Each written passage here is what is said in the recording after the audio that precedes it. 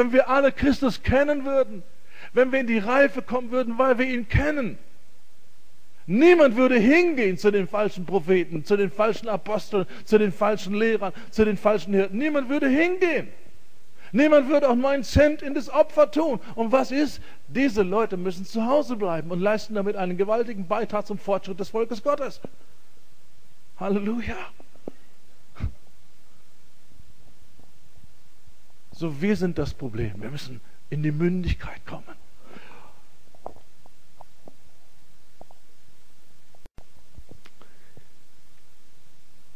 Judas, Kapitel 3, noch Vers 3, gibt kein Kapitel.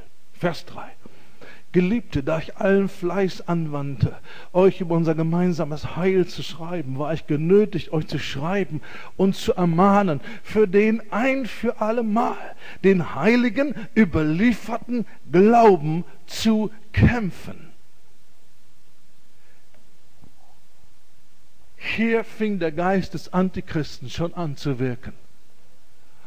Und er, er fordert die Gläubigen auf, zu kämpfen für den Glauben.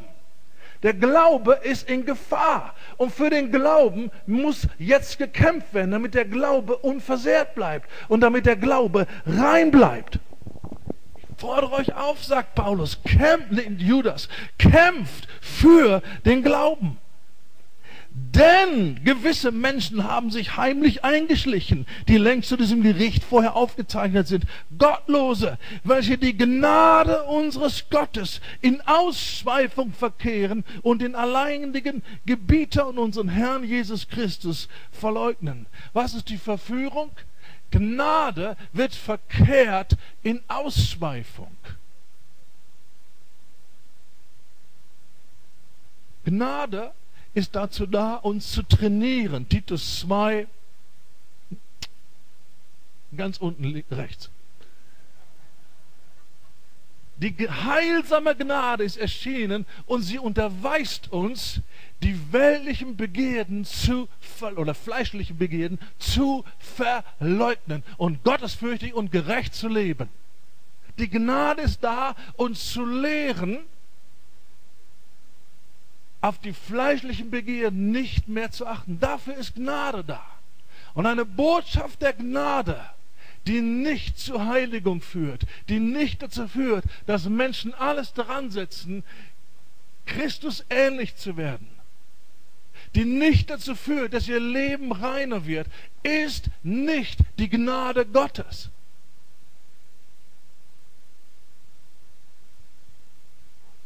Gnade wird verdreht und den Leuten wird gesagt, du musst nur Jesus annehmen. Zeig mir das in der Bibel. Niemand kann Jesus annehmen ohne Buße. Das ist völlig ausgeschlossen. Niemand kann Jesus annehmen ohne Buße. Erst muss Buße getan werden, erst muss eine Umkehr kommen, erst muss ein Innehalten kommen. Und ich muss sagen, ich bin auf dem falschen Weg. Und ich darf. Und ich soll. Und ich will. Und ich werde nicht mehr diesen Weg weitergehen, sondern ich kehre jetzt um. Und wer das tut und umkehrt und sich zu Gott wendet, der bekommt die Gnade des Glaubens. Das ist der Grund, warum unsere Evangelisationen so fruchtlos sind. Wir erzählen den Leuten etwas, was nicht mit der Bibel übereinstimmt. Wir sagen, du musst einfach nur Jesus annehmen. Und dann füllen sie eine Karte aus, glauben unseren blumigen Versprechungen, heben die Hand und wir sagen, willkommen in der Familie Gottes. Und die gehen nach Hause und sagen also ehrlich gesagt, ich weiß nicht, warum die alle so begeistert waren so dramatische Umwälzung kann ich da in mir gar nicht spüren. Und dann müssen wir hinterher telefonieren, du am nächsten Sonntag ist Gottesdienst, du kommst doch, nicht wahr? Und einmal kommen sie noch, uns zuliebe. Aber weil nichts passiert ist, weil sie gar nicht von neuem geboren sind, der Heilige Geist zieht sie überhaupt nicht. Wenn jemand seine Verlorenheit gesehen hat und wenn jemand verstanden hat, Christus hat meinen Platz im Gericht eingenommen, und weil er die Strafe, die ich verdiene, getragen hat, deswegen muss ich nicht in die Hölle, sondern obendrein habe ich doch das Vorrecht, Gemeinschaft jetzt mit Gott zu haben und von ihm gesund geliebt zu werden. Dem musst du nicht sagen, denk dran, morgen ist Gottesdienst, komm in Gottesdienst. Der sagt, wann ist das nächste Meeting? Wann kommen wir wieder zusammen? Wann geht die Sache hier weiter? So vielen Leuten haben wir bescheinigt, sie sind Kinder Gottes und nichts ist. Und dann sagen wir, ja, die wollen einfach nicht. Wir haben ihnen etwas verkauft, das nicht echt ist. Gnade ohne Buße ist nicht die Gnade Gottes. Und das trifft zu für Evangelisation und das trifft auch zu für die, die dann in der Nachfolge sind.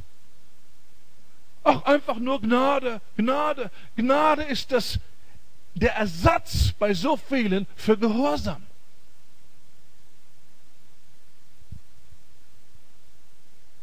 Ich habe in meinem Gespräch gelauscht von zwei Bibelschülern. Heute Abend ist Gebetsabend. Was machen wir? Gehen wir zum Gebetsabend oder gehen wir ins Kino?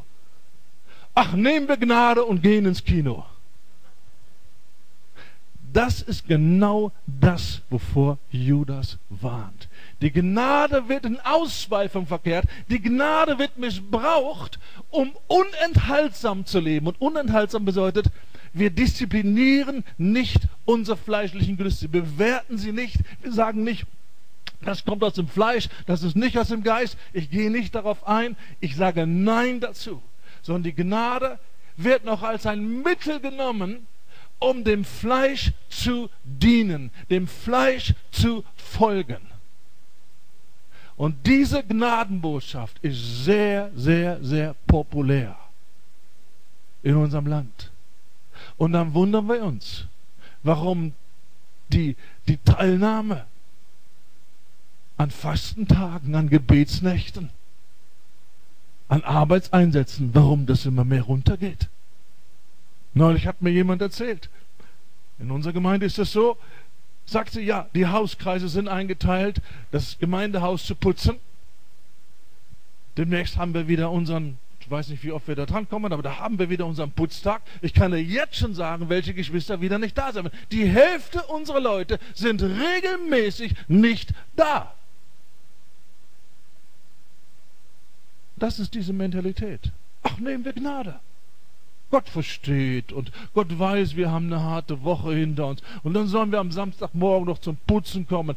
Das kann nicht Gott sein. Weißt du, Gott ist gut und Gott will, dass es mir gut geht. Das ist die falsche Gnade, die dazu führt, dass wir noch eine Vollmacht, eine, eine, einen Frieden bekommen, auf unsere fleischlichen Impulse einzugehen. Faulheit ist ein Impuls des Fleisches.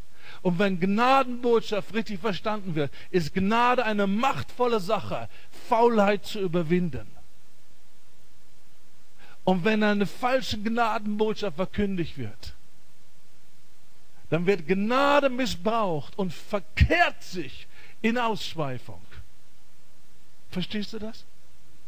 Der fleischliche Lebensstil wird noch legitimiert, kriegt noch einen frommen Stempel wird noch salonfähig gemacht. Und Judas sagt, wir müssen kämpfen um den Glauben. Da sind welche eingeschlichen. Lies zu Hause 2. Petrus 3, aus Zeitgründen kann ich das nicht bringen. Aber da siehst du genau dasselbe. Und da sind Leute heimlich eingeschlichen. Verkehrte Lehrer. Und die bringen genau diese verkehrte Gnadenbotschaft.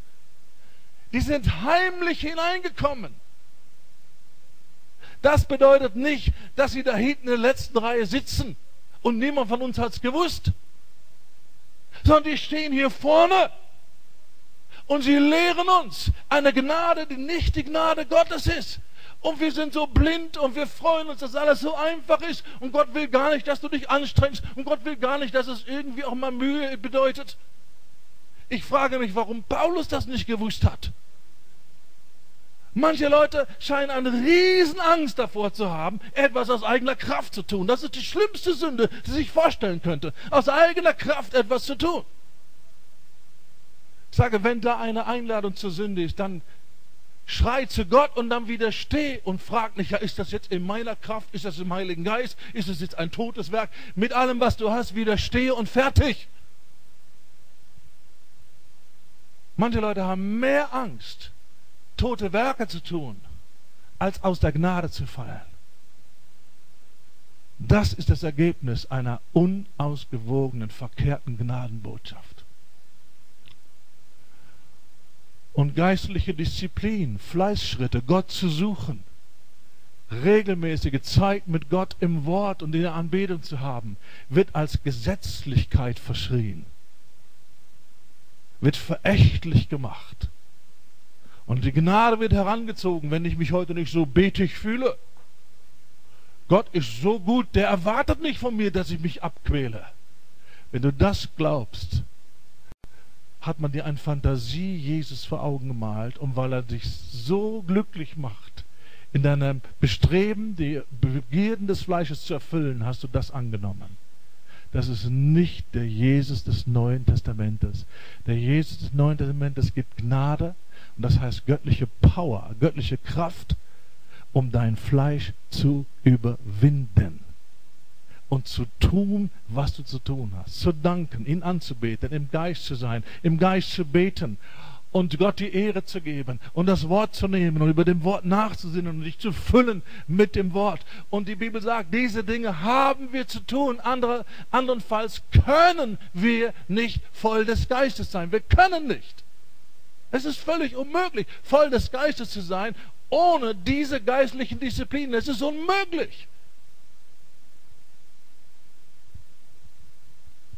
Und diese falsche Gnadenbotschaft lähmt das Volk Gottes an so vielen Stellen. Manchmal komme ich in Gemeinden nach den ersten zehn Minuten im Lobpreis, bis auf die ersten zwei, drei Reihen, alle setzen sich hin, verschränken die Arme, gucken auf die Uhr, warten ab, wann das zu Ende ist. Und wenn ich das sehe, weiß ich, hier ist eine ganze Gemeinde verseucht von einer falschen Gnadenlehre. Hallo. Weil wenn ich die wirkliche Gnade Gottes erkannt habe und ergreife, nutze ich die Gnade, um zu überwinden, nutze ich die Gnade, um im Geist zu leben, nutze ich die Gnade, um zu tun, was ich zu tun habe, als geistlicher Priester Schlachtopfer zu bringen. Und Opfer sind Opfer. Und wenn man Opfer bringt, dann spürt man, dass man Opfer bringt. Amen. Und wir sind Priester, wir bringen Opfer. Ja, keine Anstrengung. Sehe mal, wie Paulus seinen Dienst beschreibt. Der will heute sagen, ja, hätte ich doch damals schon diese Gnadenbotschaft gewusst, wäre ich doch so advanced gewesen wie ihr. Da habe ich mich ja umsonst angestrengt, habe mich umsonst gemüht, umsonst meinen Leib zerschlagen, umsonst all diese Mühen und Wachen und Fasten und all diese Schwierigkeiten auf mich genommen. Wenn das alles so easy ist und wenn das das, das Schlimmste, wovor ich mich hüten muss, ist, ist, ist Mühe und eigene Anstrengung. Sind wir wirklich so fortgeschritten im Vergleich zu Paulus? Dann wo ist die Frucht, die sie vergleichen könnte? Mit dem ersten apostolischen Zeichen? Wo ist Zeiten? Wo ist die Frucht? Wo ist irgendetwas, was wir vergleichen könnten und sagen können, schau mal, Paulus, unsere Gnadenbotschaft. Kommst du noch mit? Ihr Lieben, falsche Gnade, die ein Freibrief ist für ein Leben im Fleisch, in der Passivität, im Nicht-Überwinden, ist eine der gefährlichsten Attacken gegen den Leib Christi in dieser Zeit. Und da ist die Berührung. Die falsche Gnade führt zu einem falschen Lebensstil. Verkehrte Lehren. Lehren von Dämonen.